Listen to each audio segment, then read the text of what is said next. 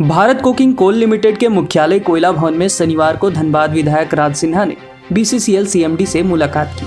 विधायक राज सिन्हा ने सीएमडी को कोयलांचल के कई कोलियरी एरिया में लोगों को होने वाली असुविधाओं से अवगत कराया। वहीं उन्होंने अनुकंपा के आधार पर नौकरी, कई कोलियरी क्षेत्रों में पीट वाटर सप्लाई शुरू करने, जगजीवन नगर स्थित खेल मैदान का विकास जैसे मुद्दों पर बातचीत कर उनके निराकरण की मांग की।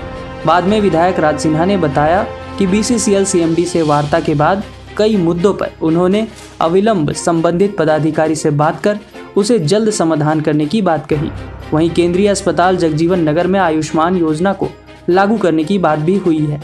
ज़रूरी कार्यों में विलंब होने के बाबत सीएमडी ने बताया कि वैश्विक महामारी कोरोना के वजह से कुछ कार्य समय पर पूरे नहीं हो सके। उन्हें जल्द पूरा करने के लिए प्रबंधन प्रयास कर रही है। सी साहब से मिलने गए थे। एक तो बहुत जगह आउटसोर्सिंग में हाउ एच पी सी लागू नहीं हो रहा है। उसके ऊपर और उनको जो वर्कर्स हैं, उनको सीधे बैंक में अकाउंट उनका बने हेल्थ कार्ड बने। स्किल्ड नॉन स्किल्ड कितने लोगों की एनआईटी के अनुसार जितनी आवश्यकता है, उसके अनुसार है कि नहीं है। इन सारे विषयों पर ये उन्होंने आश्वासन दिया कि हम इसका जल्द निपटारा करेंगे। इसके अलावा कई जगह जैसे हमारा पीबी एरिया के कई इलाका है, एटवाल है पुस्तौर चार नंबर है, वहाँ ईवी सेक्शन है, ये सब जगह पीट वाटर का पानी नहीं मिल रहा है। तो उन सब पर उन्होंने जीएम को इंस्ट्रक्शन दिया पीबी एरिया के भी और कुसुंडा एरिया को भी, जहाँ जहाँ है। सब जगह पानी पहुँचाया जाए पीट वाटर का। इसके अलावा दो तीन नियोजन के मामले थे। और जैसे सेंट्रल हॉस्पिटल में एक कोई हाड़ी करके था वो नागनारायण हाड़ी का। नारायण हाड़ी उसके पिताजी की मौत हो गई थी। और इनका रिफ्यूज़ कर दिए थे कि नहीं ये समय पर आवेदन नहीं दिया इन्होंने। पहले तो दिए कि आवेदन ही नहीं दिया। बाद में हुआ कि समय पर तो सीएमडी ने उसको कंसिडर करने के लिए कहा है सिंपैथेटिक ग्राउंड पे। इसके अलावा एक ऐसा लेबर है जो टेक्नीशियन मेडिकल टेक्नीशियन का ट्रेनिंग लिया है और लेकर के सेंट्रल हॉस्पिटल से ही।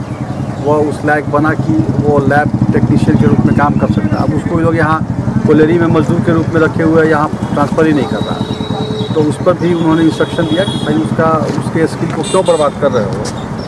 और वो उसके लिए, उनको आदेश दिया उन्होंने कि इसको लाओ जगह पे।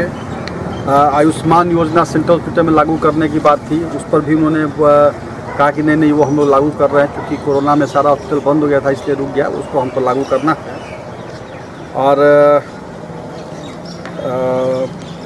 अलकुसा कोली जेपी कैंप पुस्तौर चार नंबर सियाल गुदरी चिरूडी पुटकी दस नंबर, कोक प्लांट, इन सब जगहों पर, श्रीनगर पुटकी इन सब पर ईबी सेक्शन के चाणक से एटवाल चोभा में पानी मिले।